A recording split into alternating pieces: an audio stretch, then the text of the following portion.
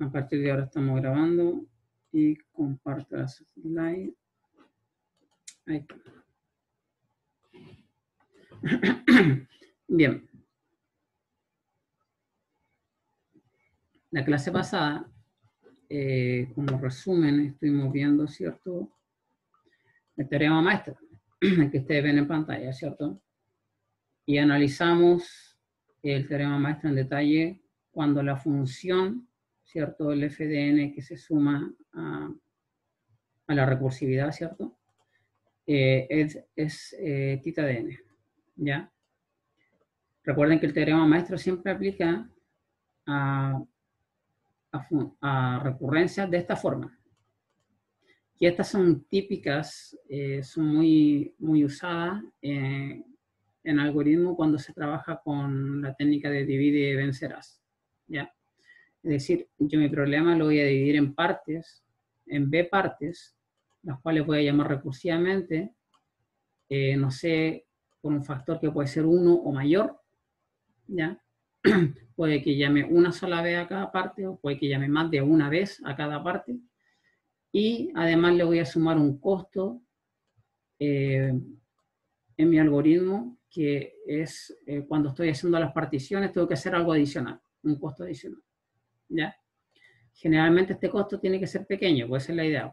Los mejores algoritmos tienen un FDN bien pequeño y un B, eh, no sé, el, el, B tiene que ser eh, sí o sí, tiene que ser mayor que 1. No puede ser 1, porque si es 1, quiere decir que se sigue llamando T sub n siempre y la recurrencia no va a terminar nunca. Por eso se exige que B sea mayor que 1. De ahí vimos el, caso cuando f de n es tita de n, cuando A es igual, menor o mayor. ¿ya? Noten que el, mejor tiempo eh, se da, eh, puede, puede, ser aquí o puede darse acá, ¿cierto? Si A es menor que B, el tiempo es lineal. Si A es mayor que B, entonces el mejor tiempo es este, claro sea mayor que B, entonces este número que está aquí es mayor que 1, por tanto esto me queda más de, más de n. Y cuando A es igual a B, es n log n. ¿ya? Y vimos los tres casos y lo demostramos. Y acá está el caso general, ¿ya? Que ustedes lo pueden ver cuando la función de n no necesariamente es de estita de n, eh, y, y, yo le dije que como regla mnemotécnica tenían que comparar la función con n elevado al logaritmo de ambas b. Si era igual, entonces aplicaba esto, ya, ese era el resultado. Si era menor, es decir, si le restamos un epsilon, un poquito menor, entonces aplica esto. Y si es mayor, es le sumamos un pequeño epsilon, entonces aplica está acá. Pero además se tiene que cumplir esta otra condición, ¿ya? Que esta multiplicación de aquí tiene que ser menor o igual que una constante por la función de n. Es decir, tiene que ser orden de f de n, esto que está acá. Bien, eh, vimos ejemplos y ahora vamos a ver eh, algún, un algoritmo clásico que ustedes conocen, que es el algoritmo eh, Quicksort y QuickSelect. Ya vamos a ver ambos.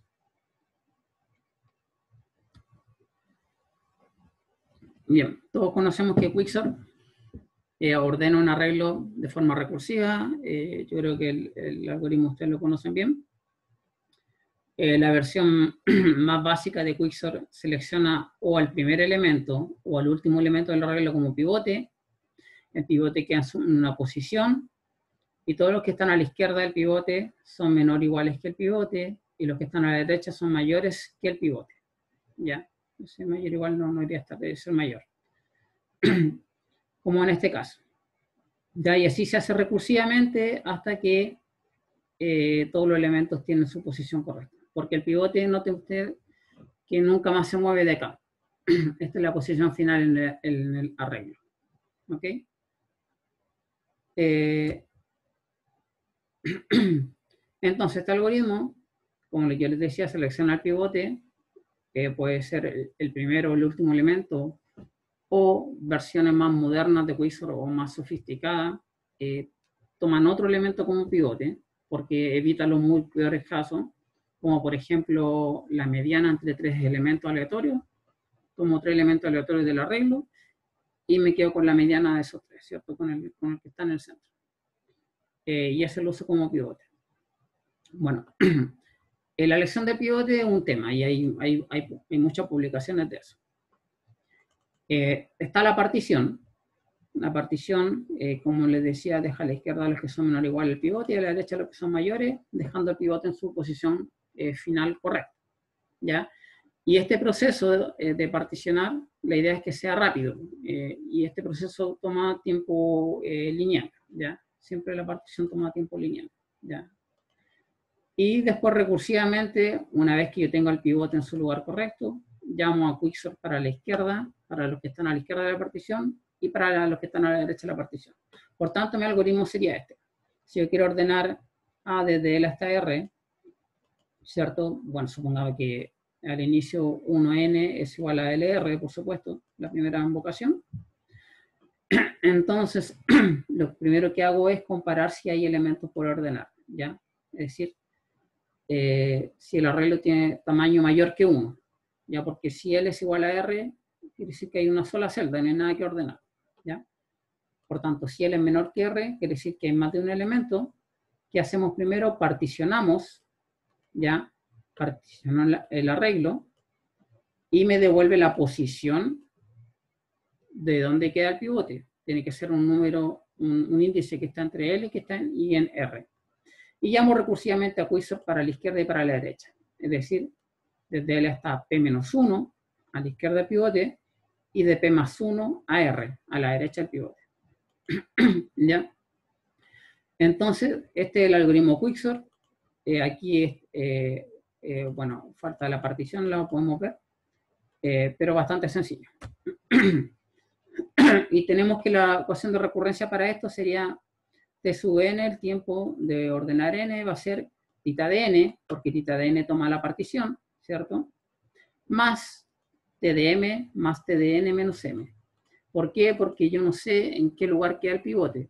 Entonces, yo decir, en una parte van a haber m elementos y en la otra parte tiene que quedar los restantes n menos m.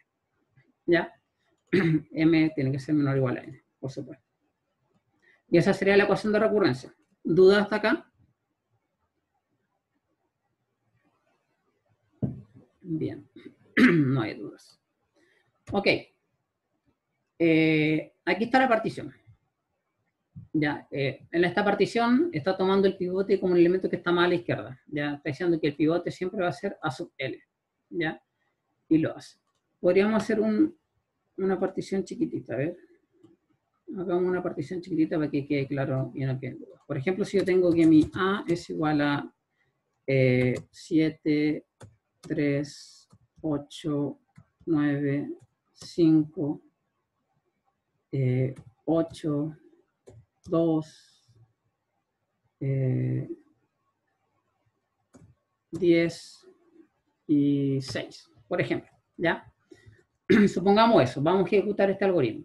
Entonces yo sé que este es L, vamos a poner acá arriba para que quiero hacer algo.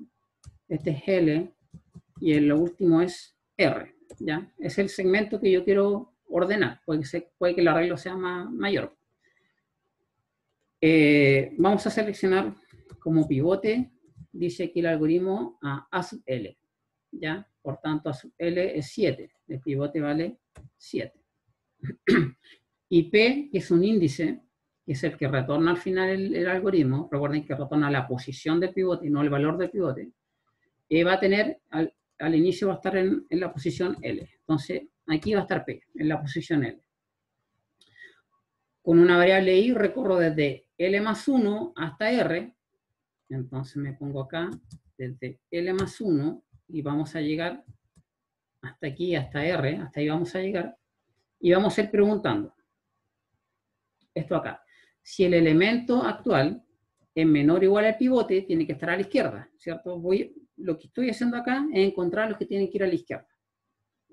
Y pregunto, ¿7 es menor o igual al pivote? Sí, tiene que ir a la izquierda, por tanto, entramos en el if, aumenta el pivote e intercambia ese valor a sub i que encontramos, que encontramos menor con el pivote. Intercambia A sub i con el pivote. ¿Ya? En este caso se intercambia consigo mismo, así que no hay ningún cambio. Sale del if, aumenta el for, llegamos al 8 y pregunta, 8 es menor que menor o igual a 7, que el pivote, no, avanza el siguiente. 9 es menor o igual a 7, no, avanza el siguiente. 5, sí, es menor o igual. Entonces entramos al if, incrementamos el pivote, ¿cierto? El índice para el pivote, eh, y intercambiamos i con a sub p. Entonces, este 8 se intercambia con este 5. Entonces, aquí va a quedar un 8 aquí va a quedar un 5. ¿Ya? Y vamos al siguiente dato. Al siguiente. 8 menor o igual a 7, no. El siguiente. 2 menor o igual a 7, sí. Entonces entra el if. ¿Y qué es lo que hace? Incrementa el pivote. ¿Ya? E intercambia este valor con el del pivote que es 2. Entonces aquí va a quedar el 9, con el valor en, en, i, perdón, y aquí va a quedar el 2. ¿Ya? Aumenta el siguiente dato, eh, 10 es menor que 7, no. El 6 es menor o igual a 7, sí. Entonces intercambia nuevamente, avanza P, intercambia este valor con ese 6. Aquí va a quedar un 6, y aquí va a quedar un 8. Avanza I, terminó. Se sale del for e intercambia A sub L, el primer dato, con A sub P. Es decir, este 7 lo intercambia con ese 6 que está ahí. Entonces va a quedar un 6 acá y va a quedar un 7 acá. Y retorna P, esta posición. Noten que todos estos datos que están acá son menor o iguales a P y los que están acá son estrictamente mayores que el pivote. Que el pivote, digo, no que P. ¿ya? Y por supuesto, el 7 quedó en la posición final como si el arreglo estuviese ordenado. Cuando el arreglo esté totalmente ordenado, el 7 va a estar en esa posición, no puede estar en otra. Eh, es, bastante intuitivo, hay, hay otras formas de particionar. Eh, la idea es que se hagan la menos cantidad de comparaciones posible para que sea más rápido, ¿cierto? Porque aquí se va a dar eh, mucho la, la, eficiencia de su algoritmo y, y, su posterior implementación. Bien, entonces claramente esto es orden R-L, ¿cierto? Esto que está acá. Si L vale 1 y R vale N, por supuesto es orden N. Por eso le llamamos tita de N en la slide anterior, ¿cierto? Eh, yes. Bien. ok, ¿dudas con la partición? Hasta ahora, ¿está claro lo que ya hemos visto?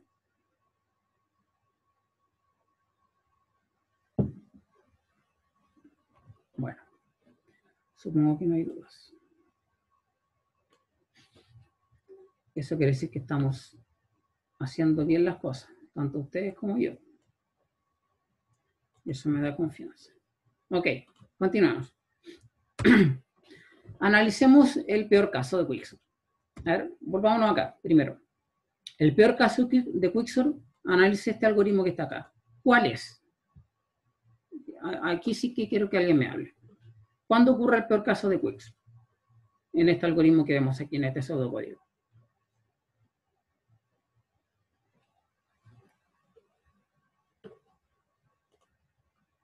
¿Cuando está descendente?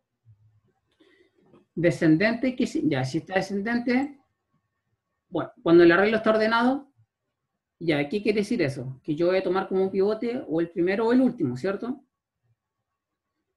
Y eh, no se va a mover de ese lugar. Ya. ¿Qué ocurre si el pivote no se mueve de, si el pivote es el primero o el último? ¿Por qué es el peor caso? Es correcta la respuesta, pero ¿por qué es el peor caso? porque la siguiente iteración va a tomar el resto de elementos en una sola partición, digamos. O sea, todo el lado izquierdo va a ser n-1. Mm, bien. Claro, ¿por qué? Porque las particiones quedan muy desbalanceadas. Aún voy a tener el pivote en un extremo y, no voy a tener a la izquierda o no voy a tener a la derecha. Voy a tener todo el resto de los elementos, los n-1, en un solo lado. Por tanto, eh, ya no es como un, un, árbol donde se van equilibrando las particiones, sino que me queda como algo lineal. ¿ya? entonces queda esto que está acá. Este es el peor caso. Como ustedes mismos decían, yo quiero, yo tengo n, ¿ya? Y mando a particionarlo, y resulta que, supongan que el pivote siempre queda a la izquierda, ¿ya? Como queda a la izquierda, en, A sub L no hay elementos a la izquierda de A sub L, y hay n, n menos un elemento a la derecha. Y esta es la llamada recursiva, ¿ya? Y lo mismo acá, 0, n menos 2, 0, n menos 3, y así. Noten que la altura de este árbol es orden n, ¿cierto? Es lineal, es, n, ¿cierto? Eh, y en cada una de las llamadas, cuando tienen elementos, el costo de, de, hacer la partición es tita de n, es decir, c por n. Cuando tengo n menos 1, c por n menos 1. Cuando tengo n menos 2, c por n menos 2, y así. Entonces, yo tengo que hacer esta sumatoria para encontrar el costo total en el peor caso. La, sumatoria desde 12, 13, 4C, 5C hasta NC. Y eso me queda eso, esa sumatoria. ¿Ya? Y eso, desarrollando una simple suma, ¿cierto? Es claramente n cuadrado, ¿cierto? Sacamos la constante para afuera y tengo la sumatoria de los, eh, de los primeros n números. Y eso es tita n cuadrado, ¿cierto? En realidad desde 2 hasta n. Entonces el peor caso de Quicksort es cuadrático. Es cuadrático, ¿ya? Por supuesto, en, en la realidad, en la mayoría de los casos, eh, es muy difícil que ocurra el caso, eh, siempre el peor caso en Quicksort. ¿ya? En algunas recursividades sí va a ser muy desbalanceado, pero, pero en general tiende como a equilibrarse un poquito más, en los casos aleatorios, ¿me entienden? Ok. n cuadrado. Eh, veamos otra forma de resolverlo. Si a alguien no le gusta el árbol de recurrencia, puede hacerlo de esta manera. Tenemos que esta era nuestra eh, ecuación de recurrencia, ¿cierto?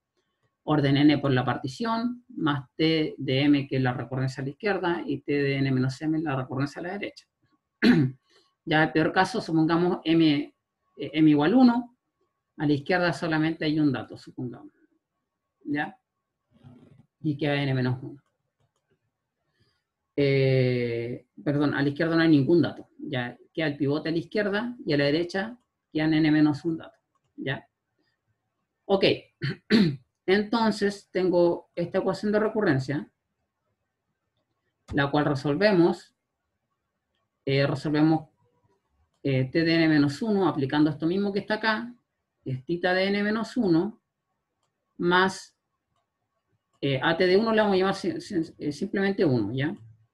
Costo 1 le vamos a decir que toma eh, para una celda. Eh, más la recursividad TDN-2, ¿cierto? Desarrollamos, desarrollamos esto, lo ordenamos, me queda tita de n, tita de n-1, más 2, más tita, más t de n-2. Desarrollamos este que está aquí, me queda tita de n-2, ¿cierto? Más 1 más t de n-3.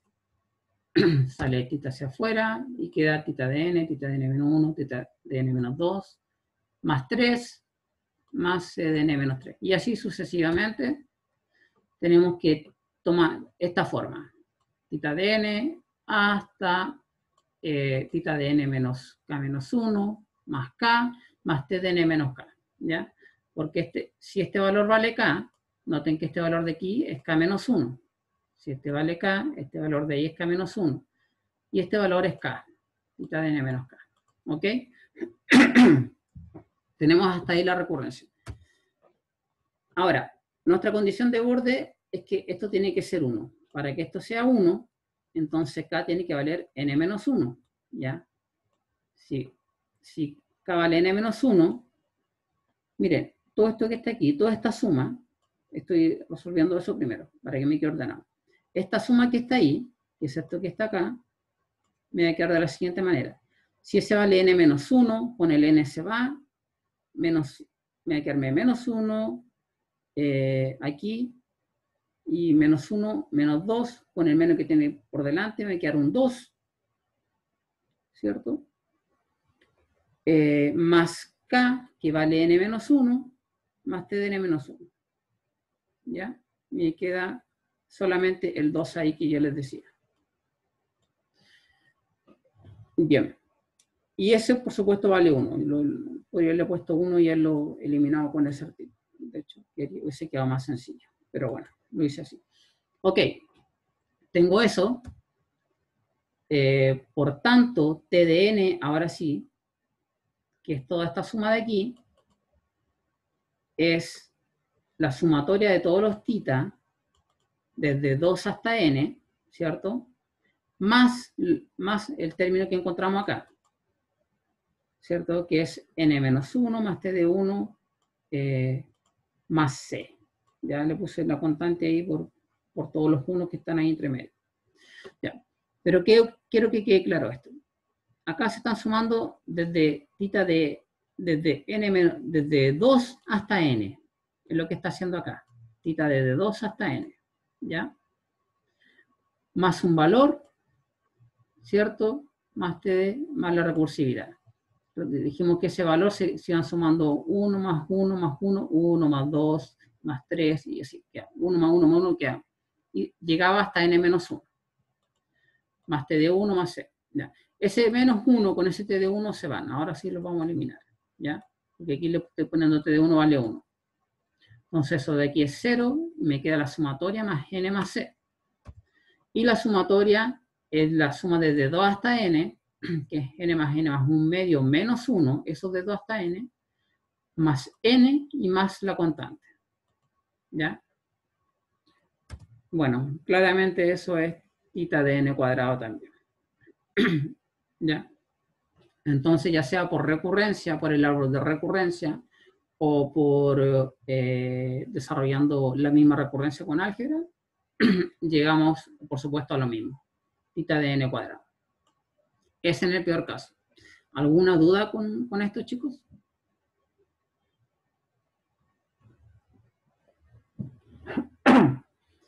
Bien. Continuamos Ok, ¿qué pasa en el mejor caso? ¿Cuál creen ustedes que es el mejor caso? Si tenemos acá, si este era el peor caso, cuando queda totalmente desbalanceado, ¿cuál sería el, mejor caso entonces?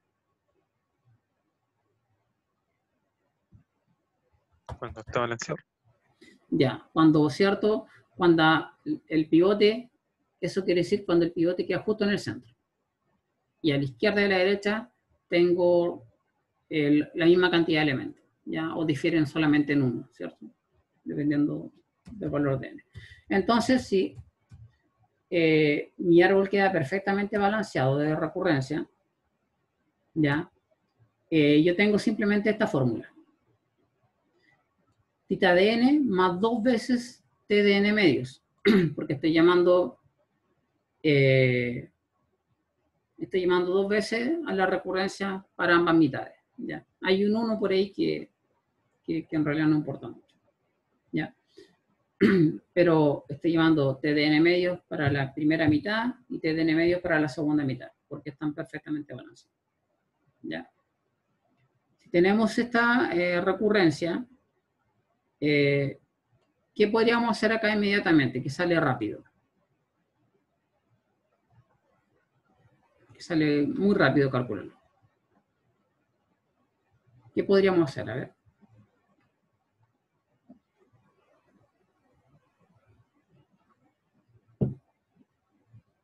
¿Alguien me puede dar una pista? ¿Usar teorema maestro? Claro, ¿cierto?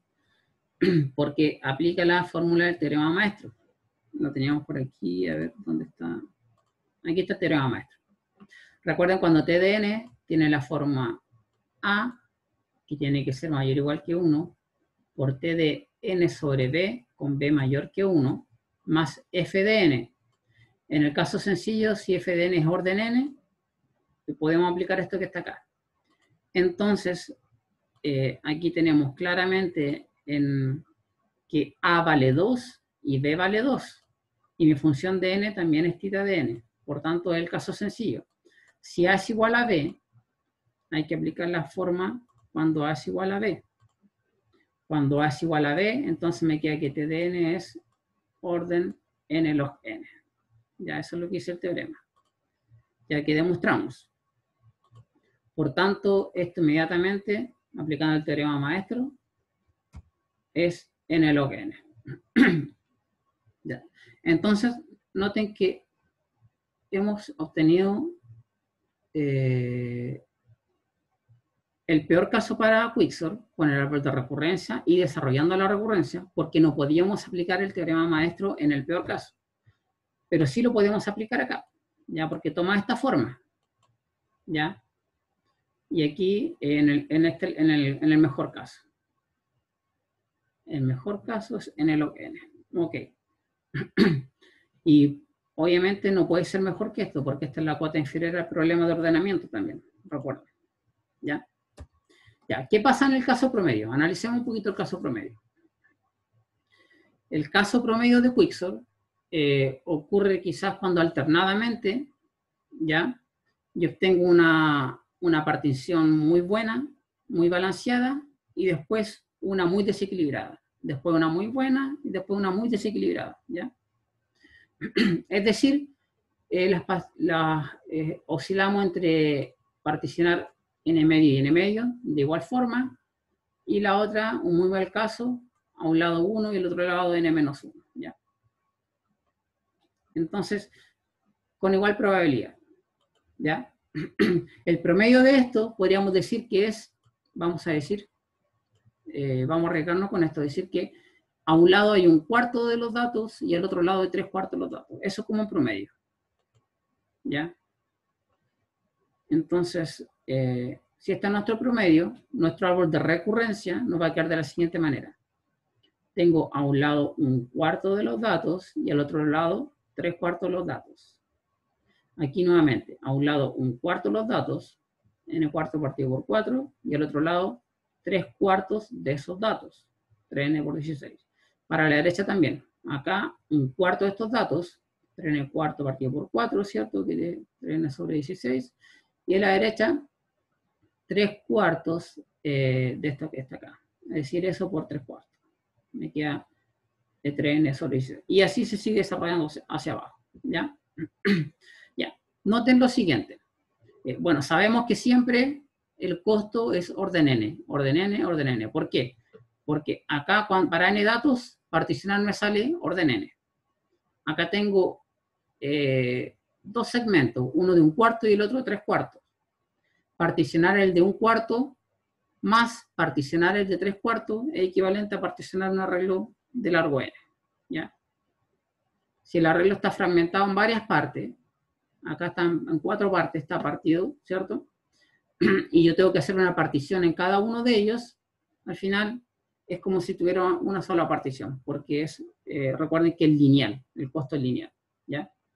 Y si yo sumo todo esto que está aquí, todos estos datos que está acá me da n, todos estos datos que está aquí me dan n, y me da n por cada nivel. Por tanto, siempre el costo es mismo, c por n, c por n, ¿ya? Bueno, ahora como yo sé que el costo es c por n, por cada vez que yo ejecuto el algoritmo, ¿cierto?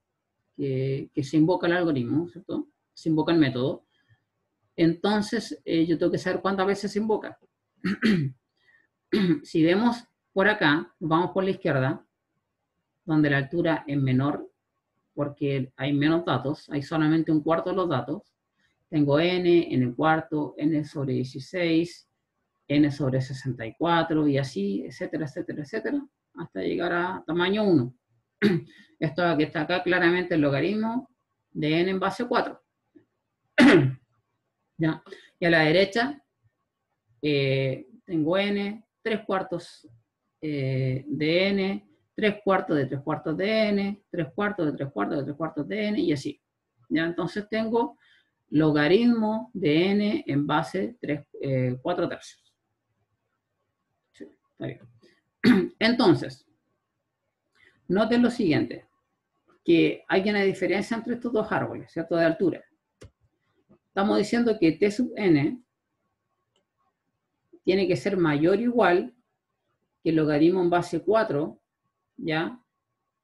De, C, eh, por C por N, de logaritmo base 4 de N, por mi costo que es C por N, ¿cierto? Y tiene que ser menor o igual que toda la cantidad de llamadas recursivas que son logaritmo de N en base 4 tercios por el costo que me toma en cada llamada que es costo lineal, ¿ya?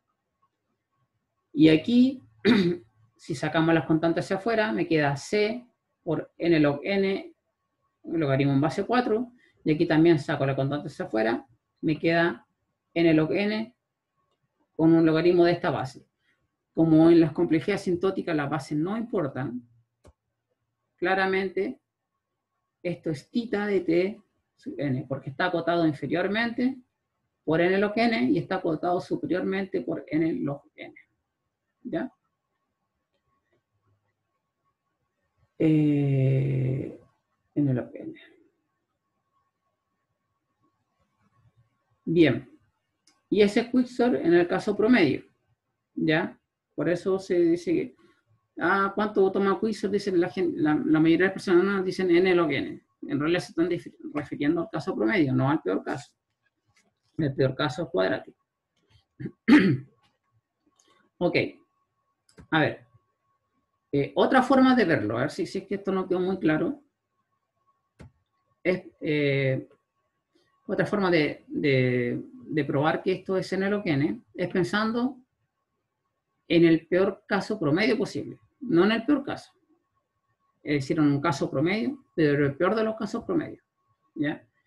Y esto ocurre cuando de forma alternada tenemos eh, un peor caso seguido de eh, un peor caso en el caso promedio.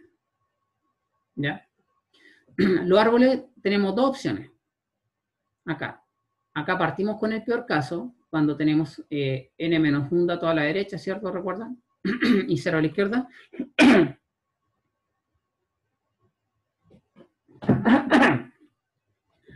Después, a esta de acá, perdón. Aquí sí viene el caso promedio, que vamos, vamos a tener eh, un cuarto de los valores a la izquierda y tres cuartos de los valores a la derecha, o al revés, partimos con un cuarto de los valores por la izquierda y tres cuartos de los valores por la derecha, y después a cada una de las ramas le vamos aplicando alternadamente esto que está acá. ¿Qué quiere decir esto? Miren, observe este árbol que está acá. Recuerdan que cuando vimos el árbol eh, en, el peor, en el caso promedio, cuando vimos por tres cuartos, tres cuartos, tres cuartos, se parece un poco a eso, salvo que hay un nodo más entre medio. ¿Ya? Eh, hay siempre un nodo más entre medio. En vez de pasar directamente de n a n cuarto, a tres cuartos de n, eh, pasa primero por n menos 1. ¿Ya? Y después pasa OK en este caso. ¿Ya? Es decir, en vez de hacerlo en solamente una iteración, está tomando dos iteraciones por nivel es decir, este árbol de acá, es, es, como este mismo árbol de aquí, de esta rama, pero en cada rayita, en cada arista, hay otro nodo intermedio. Aquí, aquí, aquí, aquí. Y eso quiere decir que la diferencia de la altura es a lo más el doble. ¿Ya? Y lo mismo ocurre acá. Es a lo más el doble. Y, y simplemente se argumenta esto. Y esto sí es un análisis tenemos que, en el peor de los eh, eh, casos promedios, la diferencia entre un peor caso y un peor caso promedio es del doble. Como es del doble la diferencia, entonces es un valor constante, ¿cierto? Y nos interesa mucho, las constantes no importan en el análisis asintótico y por tanto el tiempo se sigue manteniendo como en el log n. ¿Ya? Es decir, acá en vez de que sea esto, sería dos veces por eso. Y sigue siendo una constante multiplicando por dos. Por tanto, queda lo mismo.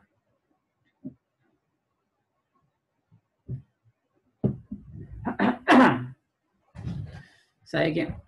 Me he dado cuenta, entre paréntesis, de mi carraspera, de esta, que a veces porque eh, cuesta hablar.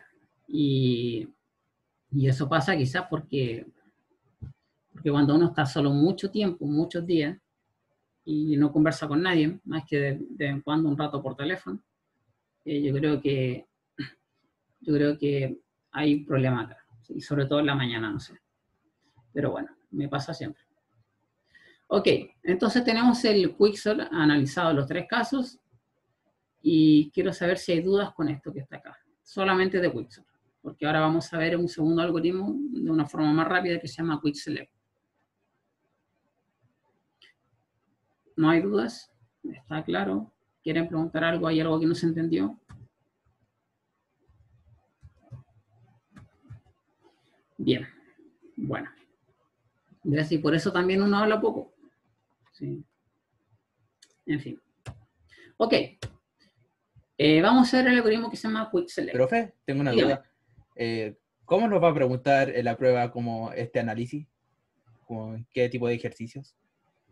Eh, no sé, pues, ahí tendría que pensar qué problema les pongo. Pero eh, yo les puedo dar, por ejemplo, miren, a ver, para que tengan más claridad. Les doy este, algo, les doy este pseudocódigo y les digo esto que está acá, esta información, esto toma TDN, eso y eso. No sé, obtenga la ecuación de recurrencia y, y cuál es el valor en el mejor caso, en el peor caso, en el caso promedio, no sé. Y ustedes vean qué método usan.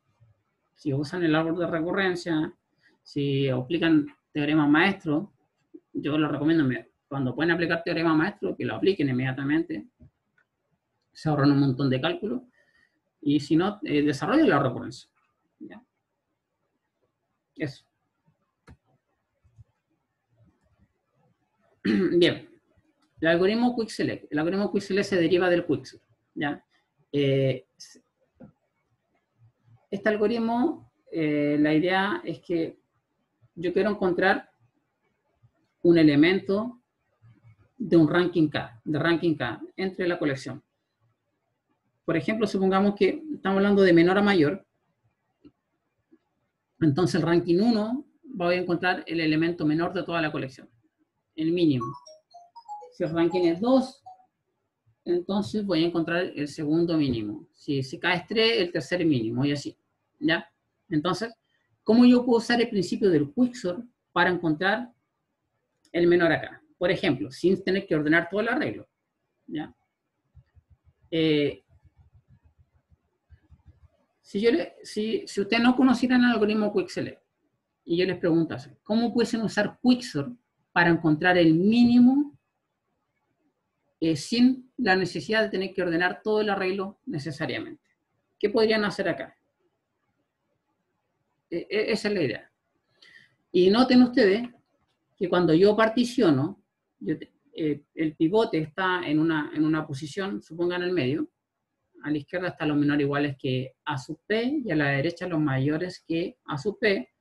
Entonces, si yo estoy buscando el menor de todos, necesariamente debería estar a la izquierda y a la derecha no me importa. Por tanto, no tendría por qué estar llamando recursivamente a la derecha. Si yo busco el mínimo, si estoy buscando el máximo, al revés, pues no tengo para qué llamar a la izquierda, solamente llamo a la derecha. Entonces, la idea es hacer una poda de este árbol de recurrencia e irse solamente por la rama donde yo estoy seguro que tiene que estar el elemento que busco. ¿Ya? Acá yo no estoy buscando un elemento de un valor específico, estoy buscando un elemento de una posición específica dentro de toda la colección. O el menor, o el segundo menor, o el tercer menor. El, el, el, el caésimo menor. ¿Ya? Ok.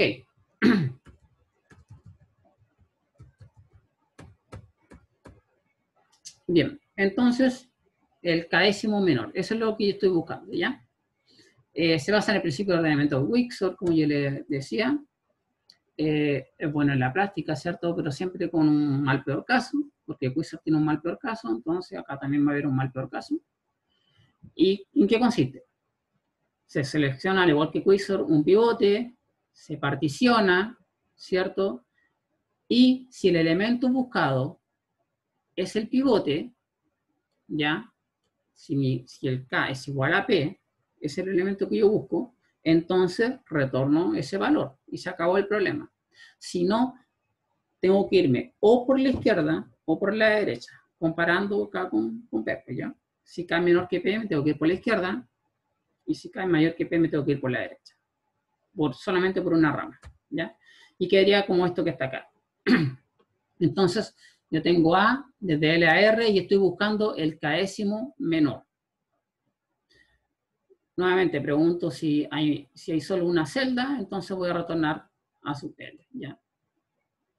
Si no, voy a particionar, al igual que Quixer. Eh, acá eh, U es un, en la cantidad de elementos que están a la izquierda de P, ¿ya? ¿Cuántos elementos celda hay a la izquierda de P? Que es P menos L, ¿cierto? Y pregunto, si K es igual a U más 1, si estoy buscando, por ejemplo, el quinto menor, ¿ya? Y yo sé que acá a la izquierda hay cuatro celdas.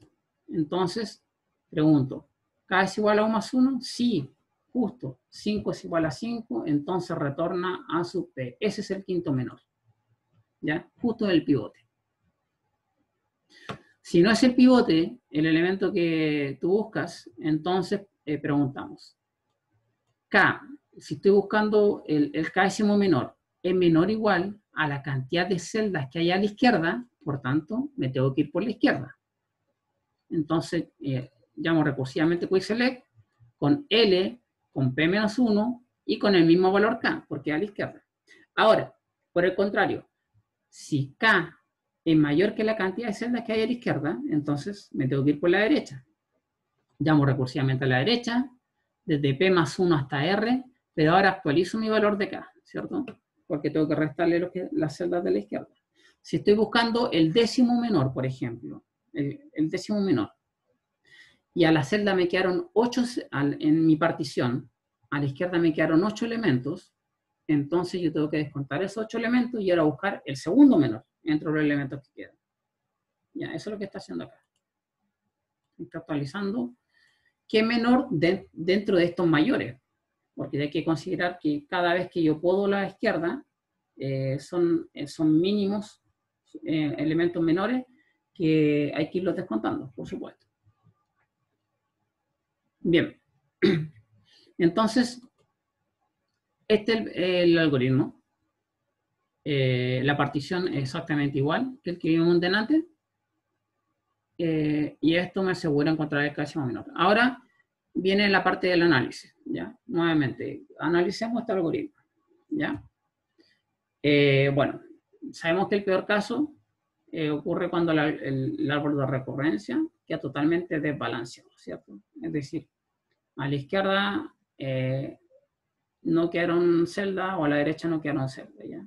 O, se, o se puede escribir, para que se entienda mejor, que queda uno en un lado y n menos uno en el otro.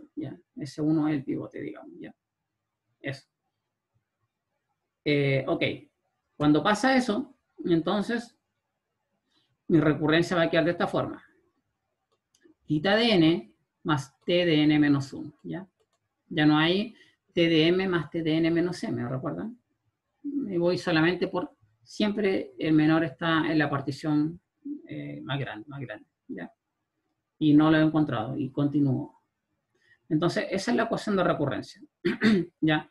Esta ecuación de recurrencia es bastante fácil de resolver, es tita de n cuadrado, al igual que Quicksort, ¿ya? Y, como ejercicio, usted haga la parte algebraica de esto, ¿ya? Como ejercicio de que ahí, como, como tarea, ¿ya? Haga la parte algebraica de esto. Eh, porque recuerden que Quicksort, miren, este es en el peor caso. En el peor caso, donde teníamos Quicksort. Aquí está. Este es el peor caso. Se parece mucho. Hay solamente un T de 1. ¿Ya? Que, es distinto. Que, no cambia prácticamente nada. Por tanto, tenemos que nuestro peor caso es tita de n cuadrado, al igual que Quicksort. ¿Ya?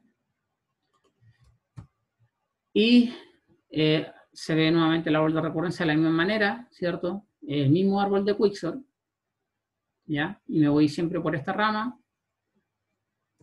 y tengo la misma sumatoria que en delante, ya, aquí es de k igual 2, no de 1, me da tita de n cuadrado. Ya, la complejidad no cambia, tita de n cuadrado. Ok, ¿qué pasa ahora eh, en el mejor caso? ¿Ya? El mejor caso ocurre cuando el pivote queda siempre en el centro de su arreglo, ¿cierto? El arreglo es totalmente equilibrado, el arreglo de recurrencia. Y tenemos entonces que eh, esta sería mi recurrencia. La, la- la diferencia con Quixar en el mejor caso es que aquí había un 2. 2 por TDN medio, recuerden, porque hay que hacer dos llamadas, tanto a la izquierda como a la derecha. Pero ahora hago solamente una llamada. ¿ya? Entonces, en la partición, más mi llamada recursiva. ¿ya? Podríamos sumarle un 1 también ahí, el- pero va incluido acá. El, el S más 1 o más C está incluido aquí. ¿ya? Ok, entonces eh, a esto nuevamente le puedo aplicar teorema maestro, porque A vale 1, acá hay 1 por, y B vale 2, ¿cierto? De n, n sobre B, en lo que está acá, ¿cierto? Y cuando eh, tenemos que A es menor que B, en este caso, podemos ir a ver el- nuevamente el teorema, cuando A es menor que B, en este caso, me dice que el tiempo es lineal. Eso es lo que demostramos en la clase pasada. Y entonces acá el tiempo es orden n, ¿ya? O tita de n. Entonces ese es el mejor caso, ¿ya? Bien. Eh, el mejor caso es lineal, eso es bastante bueno. El caso promedio ocurre cuando las particiones nuevamente quedan alternadamente balanceadas, ¿cierto? Eh, balanceada y muy desbalanceada. En promedio, a la izquierda queda un, eh, un cuarto los datos y a la derecha tres cuartos los datos, ¿ya? Eh, y supongamos que nos vamos siempre, nuestro dato está en el arreglo más grande. Vamos a suponer eso. Está en 3n cuartos. Entonces tenemos que esta es mi ecuación de recurrencia. Nuevamente acá podemos aplicar teorema maestro, porque acá está n partido por b y, y- y b es 4 tercios, ¿ya? n partido por b. Y 4 tercios mayor que 1, eso es lo que exige el teorema maestro, ¿cierto? Que este, que este b que está aquí, ¿cierto? Ese b que está ahí, sea mayor que 1. Y en este caso b vale 4 tercios. Ok, y ya vale 1. En ese caso, eh, tenemos eh, teorema maestro con A igual con A menor que B, ¿cierto? Y, con A menor que B tenemos nuevamente el caso lineal, ¿cierto? Y nos queda que TDN es orden n. y podemos, eh, aquí tenemos ya un algoritmo para encontrar el késimo menor, que es un problema muy, muy utilizado en, en- en- en diseño y análisis de algoritmos. Eh, y en muchas otras aplicaciones se usa. eh, este es un subproblema para problemas más grandes. El késimo menor yo he tenido que calcularlo varias veces cuando estaba haciendo mi doctorado en muchos problemas de recuperación de documentos, de algoritmos de compresión inclusive. Necesitaba encontrar el késimo menor. Y acá hay un buen algoritmo, porque en el caso promedio toma orden lineal. ¿Ya? Eh, el, el caso promedio, eh, bueno, acá está nuevamente el caso promedio. Ah, miren, esta es una pregunta para ustedes. Si el caso promedio, ¿cierto? del árbol de recurrencia es este que estamos viendo acá, para la izquierda tenemos un cuarto los datos, para la derecha tres cuartos los datos, ¿cierto? Y tenemos que nuestro TDN oscila entre eso y esto. Eso era en Quicksort. Esto era para Quicksort, no para QuickSelect. ¿Por qué el QuickSelect no es en el si la altura del árbol de recurrencia es la misma que en el Quicksort? ¿Por qué? ¿Se, ¿se entiende la pregunta? si el caso promedio, ¿cierto? Eh, en, en Quicksort, ¿cierto? Eh, me tenía un cuarto de los datos a un lado y tres cuartos de los datos al otro lado, ¿ya? y me daba un árbol de esta altura, ¿cierto? Esta altura. ¿Por qué Quickselect, que me da una altura idéntica al de Quicksort, del árbol de recurrencia, eh, da otro valor? Da un valor lineal y no es n log n. Esa es la pregunta. ¿Por qué mejora Quickselect si la altura es la misma para ambos, para ambos algoritmos? Porque se considera una sola rama. Bien, ¿cierto? Así de sencillo. Porque no estoy explorando todas las ramas, ¿cierto? Eh, eso, sí. Simplemente eso. ¿Por qué? Porque recuerden que Quicksort tiene que invocar recursividad para la izquierda y para la derecha. Quickselect, esto de acá se lo va a ahorrar. Esto va a ser un cero. Eso va a ser un cero. Eso va a ser un cero. Y así. Y se va a ir solamente por este, por este, por este, por este. ¿Ya? Como lo veíamos acá. ¿Dónde está? Acá. Ta, ta, ta, ta, ta. La altura. Ok. Eh, bien. Eso es la clase de hoy, chicos. Hemos visto Quixer y Quixel en detalle. Espero que lo consideren, eh, que entiendan su análisis principalmente, eh, porque eh, de esto mismo va a traer la prueba, ¿entienden? Cosas como esta, análisis de este tipo. Quizás no necesariamente Quixel, quizás no no necesariamente el Quixel, eh, pero estas son las cosas, ¿ya? Este, este jueves eh, vamos a ver materia de la unidad 2, ¿ya? Aunque ya hemos visto algo de la unidad 2 con David de Reinaras, pero vamos a seguir viendo de la unidad 2. Y el próximo lunes eh, la clase va a ser eh, de algunos ejercicios, ¿ya? Para que le ayude a preparar para la prueba. Así que la idea es que de aquí hasta el próximo lunes estén haciendo harto la guía, que les va a ayudar bastante. Eh, aprovechen al auxiliar también. Y, y nos vemos entonces este jueves y el próximo lunes, si Dios quiere, ¿ya? ¿Alguna duda, chicos? Profe, la prueba es el 29 entonces. Sí, así está fijada, 29, que es, claro, es eh, la próxima semana, el día jueves. Y eso es en horario de clase, ¿cierto? Sí, va a ser horario de clase, ¿ya? La primera prueba va a ser un horario de clase. Eh, vamos a comenzar a la hora del módulo, sí, eh, 11 y media, ¿cierto? Sí, de 11 y media. Va a ser de 11 y media a 1, ¿ya? De 11 y media Vale. a 1. Vamos a ocupar toda la hora y media, porque es prueba, ¿ya? Eso.